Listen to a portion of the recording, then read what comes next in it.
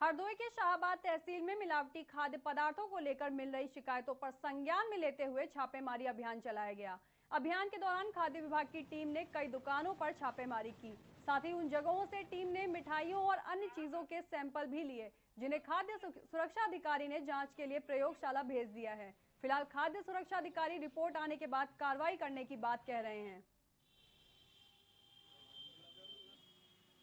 त्योहार पर आम जन को साफ़ सुथरा खाने को मिले, इसके लिए हमारे उत्तर प्रदेश शासन द्वारा खाद्य सुरक्षा खाद्य पदार्थों के अभियान चलाने के लिए निर्देश दिए गए हैं, जिसके अंतर्गत आज शाहबाद में खाद्य सुरक्षा अधिकारी की टीम द्वारा दो जगह छापे डाले गए, जिसमें एक जगह रिफाइंड सोयाबीन तेल और दूसरी जगह मिश्रित दूध का नमूना संग्रहित किया